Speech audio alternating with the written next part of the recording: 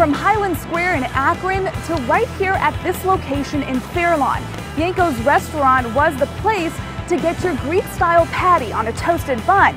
And now, Nick Yanko's granddaughter is trying to keep that tradition alive, and she's taking the recipe on the road with the Beachcomber food truck. The Beachcomber was created by my grandfather, Nick Yanko, many, many years ago. I have wanted to go back into the restaurant business, I think, since the day we closed. The Beachcomber is the one item that nobody else can make. Nobody else has the recipe. It was something that my grandfather originally created, and it's something very close to our hearts in the family.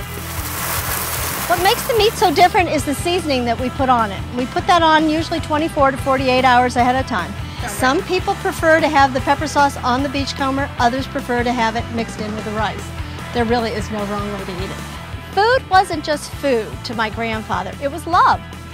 It's that simple because I can remember saying, I'm not hungry, I don't want to eat. Oh, no, you have to eat. My grandmother said, You don't eat, you don't love.